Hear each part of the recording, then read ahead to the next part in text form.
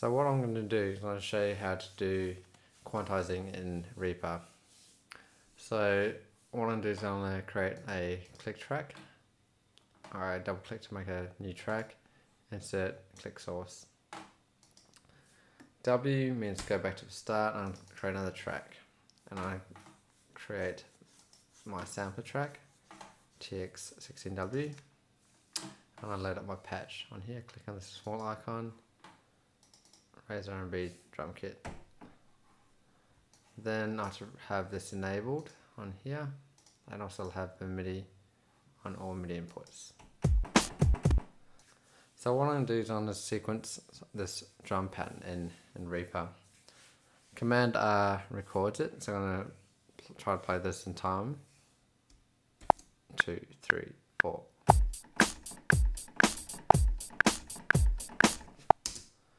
So what I've done is I've recorded a little drum pattern.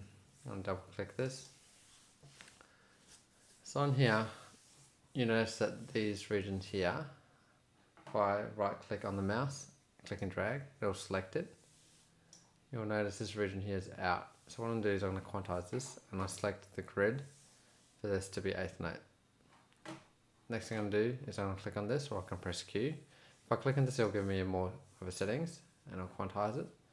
The strength, if I put it least it won't do anything. If I put it 100% it'll put that in time.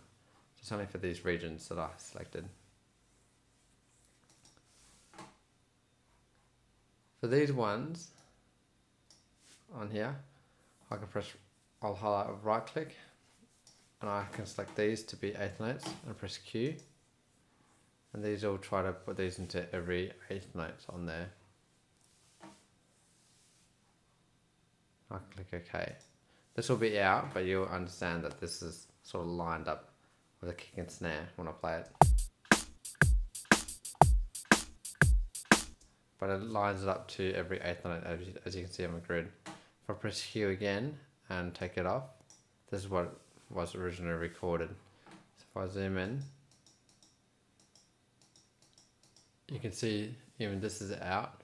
And if I put strength back on, it aligns it straight to the grid.